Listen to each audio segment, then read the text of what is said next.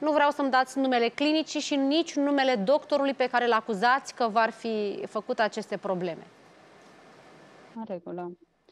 Uh, coșmarul meu a început în anul 2016 când, uh, având uh, o problemă la una dintre măsele, am mers la această clinică de la mine din oraș și a început să-mi facă un tratament pentru că aveam o, mi se umflase măseaua și aveam și dureri foarte mari.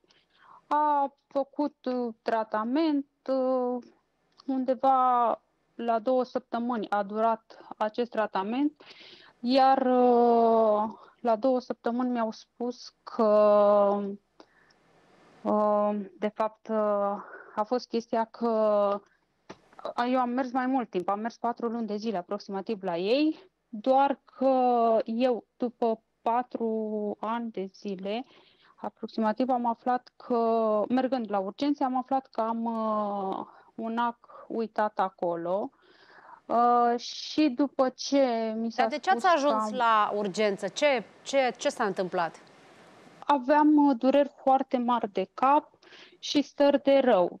Eu deja le aveam de câteva luni, doar că, nu știu, am considerat că poate sunt foarte obosită, că poate sunt foarte stresată și nu, inițial nu prea le-am băgat uh, în seama aceste dureri.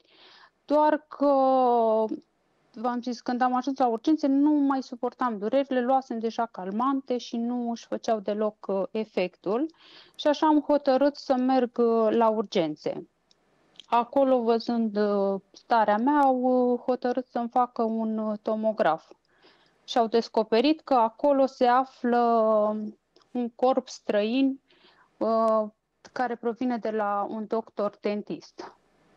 Eu inițial nu am crezut și am mai mers și în altă parte să-mi fac un tomograf mai special, nu știu cum să le explic, exact doar pentru a vedea dinți în totalitate. O radiografie dentară, vă uh, Da.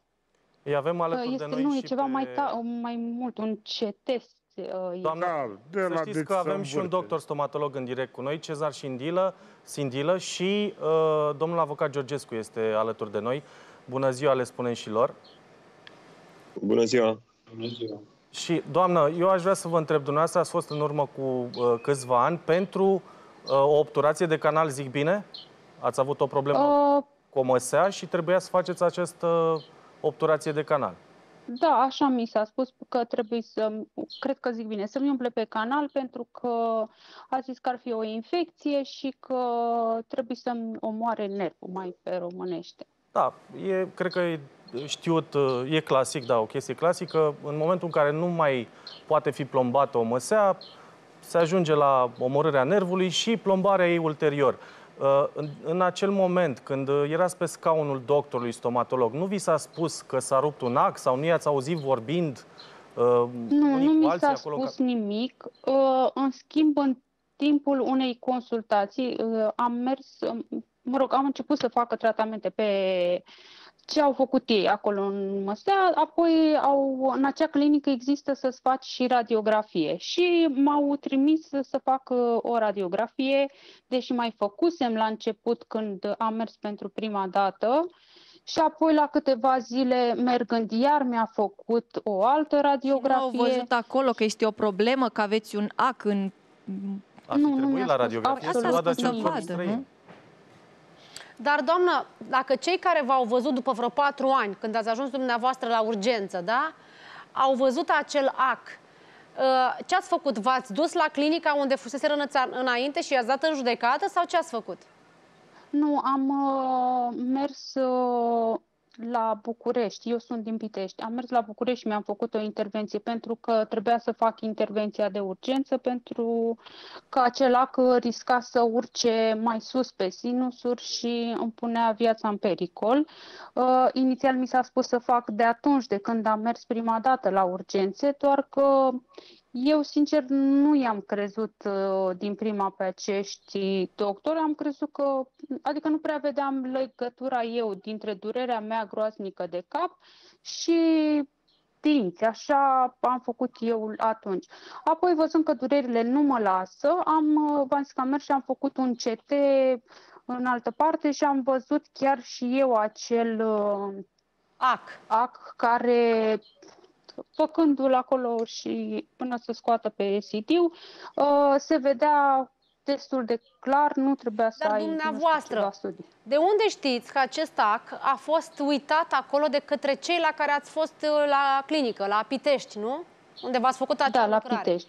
De unde Uh, știți? după adică ce cum, după patru am, ani de uh, zile, fost- cum puteți proba? Când am uh, mers uh, să cer uh, tot ce am lucrat la această clinică, inițial m-au refuzat să-mi dea, că a zis că pentru ce îmi trebuie, acele, tot, toată fișa mea de fapt, și au zis că nu am ce să fac cu ea, pentru ce îmi trebuie. Uh, Inițial le-am explicat doar că nu mă simt ok, că mă mai deranjează dintele și că pur și simplu îmi doresc acea fișă pentru a merge în altă parte să văd, uh, să vadă alt doctor, de exemplu, ce s-a lucrat acolo. Și nu a dorit să mi-o dea, apoi am mai revenit într-o altă zi când nu era doctor acolo și cei de la informații au fost drăguți și mi-au dat-o. Bun, și Uh, în acea fișă, uh, undeva, am zis, prima dată am mers pe 6, uh, 6 a 10 a 2016 și undeva în data de 20, tot aceeași lună, au notat ei cum că ei m-ar fi anunțat pe mine că ar trebui să fac o rezecție apicală care nu știu, doar pe internet am căutat să văd ce ar însemna acest lucru și nu, mie personal, de exemplu, nu mi-au explicat nici de această rezecție, chiar dacă ar fi spus rezecție, fiind un cuvânt străin, mi-ar fi Dar nu, rămas dar nu mi-ați în răspuns minte. la întrebare. Dacă dumneavoastră ați făcut o, at- o acțiune în instanță, știu, și că ați și pierdut-o, Da. nu? Împotriva acelei clinici. Da. Pentru că eu vă întreb așa, cum probați dumneavoastră că în urmă cu patru ani la acea lucrare s-a uitat un ac? După patru ani de zile vă duceți la clinică și spuneți asta. Înțeleg că ați mai fost între timp și la alți medici, nu? Am fost uh, să fac uh, o lucrare dentară, adică mi-au Doamnă, s-a mai pus, lucrat uh, la acel dinte de atunci? uh, Doar l-au pilit acel dinte pentru a face o lucrare, mi-a făcut o lucrare, nu știu, de, mi-a pus dinți pe... Deci s-a mai aveam, lucrat la uh, acel dinte? Doar s-a pilit acel dinte. Nu Doar s-a s-a pilit acel des- dinte. Și dumneavoastră aveați acte medicale că s-a făcut acea obturație de canal la clinica de care ne vorbiți Da, și pe care o acuzați? da. Deci aveți ac- acte în sensul ăsta. Ei, acel act nu avea decât să rămână într-un canal. Pentru că în momentul în care se scoate nervul, într-un, într-o măsea sau dinte, sunt mai multe canale. Domnul Ci- Sindilă ne poate spune. Domnule Cezar Sindilă, domnule stomatolog, unde au greșit oamenii ăștia? Ce au făcut greșit? Și dacă puteți să ne răspundeți și la întrebarea Mirelei, se poate dovedi că ei au greșit? Mai mult ca sigur există o radiografie înainte de intervenție și o radiografie de control după intervenție. Aceste două radiografii ar trebui să se găsească în fișa doamnei din clinica respectivă, fișă pe care ei sunt obligați să-i facă o copie și să-i înmâneze. Fișa originală se păstrează în clinică. Copia, în schimb, sunt obligați să o dea. Dar se poate rupe acel ac în momentul în care se face această obturație de canal. O procedură la care cred că am apelat cu toții. Uh, Se poate rupe acel lac în timpul intervenției și dacă da, cum se poate rezolva această problemă? Cred că se și simte în momentul acela. Da, Nu poate să simtă nimeni că ești uh, anesteziat. Ah, de fapt, da. Nu simți nimic. Ca pacient nu simți. Vă rog, domnule doctor. Uh, Ideea e în felul următor. Un act se poate rupe în condițiile în care este utilizat de foarte multe ori. Nu se, se utilizează de câteva ori un act, nu îl folosești până se rupe. Uh, Se poate rupe în situația în care, nu știu, medicul pune presiune prea mare pe ac sau se poate rupe și dacă acul este nou în condițiile în care avem o rădăcină foarte curbă. Dar dumneavoastră, ca medic stomatolog, puteți vedea când ați scos acul că e rupt, nu? Corect. Adică vă dați seama că undeva trebuie să fie cealaltă bucată. Dacă... Pacientul, ok, nu Depinde, simte că e dacă- anesteziat, cum spuneți, că nu mi-a trecut asta prin cap, dar Dacă- doctorul cred că vede. Păi da, dar poate doctorul să- nu vede. Nu, acu e ceva, Zice- e vorba de milimetri acolo. Doar dacă, uh, și să o întrebăm pe doamna dacă aveau... Uh, Acest lucru se poate întâmpla. V-am spus și dacă folosesc un ac nou și dacă sunt cel mai bun endodont din universul acesta, se poate întâmpla să se rupă un ac. Ideea este că acel ac trebuie scos. La dacă microscop procedura este făcută la microscop, bănuiesc. Da. Păi bun, Uh. doamnă, aveau microscop uh, doctorii respectivi, pentru că altfel, dacă s-a rupt acel ac, e greu și pentru doctorul respectiv să vadă în timpul procedurii că a rămas acolo o bucățică de ac. Uh, Nu știu să zic lucrul acesta, dacă într-adevăr aveau.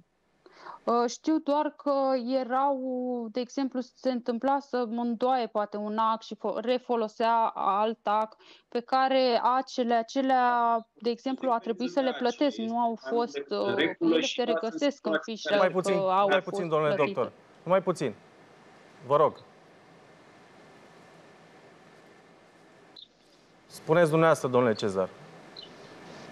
Am spus că da, se folosește o secvență de ace, nu se folosește un singur ac. Uh, și da, sunt situații în care precurbezi acul înainte să-l, uh, să-l introduci în canal. Asta nu este o problemă. Bun, s-a întâmplat să se rupă acel ac. Ce v-am întrebat eu este dacă exista posibilitatea ca în timpul intervenției să se rezolve această problemă. Da, exista posibilitatea. Acel ac sunt în funcție de situația, se făcea o radiografie de control, în funcție de acea situație, se decidea dacă acel ac se insistă pentru scoaterea lui sau dacă se bypassează, adică se lipește de un perete și se obturează dintele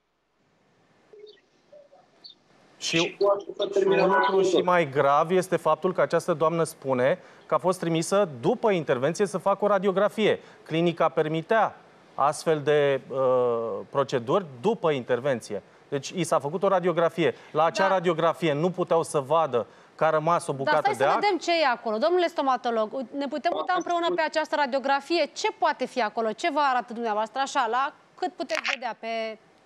Eu, din E clar. păcate, văd foarte mic această imagine. Nu pot să-mi dau seama, dar mie nu-mi pare ac acolo. Da, ce poate fi dacă nu un ac? Adică ce altceva poate ajunge acolo?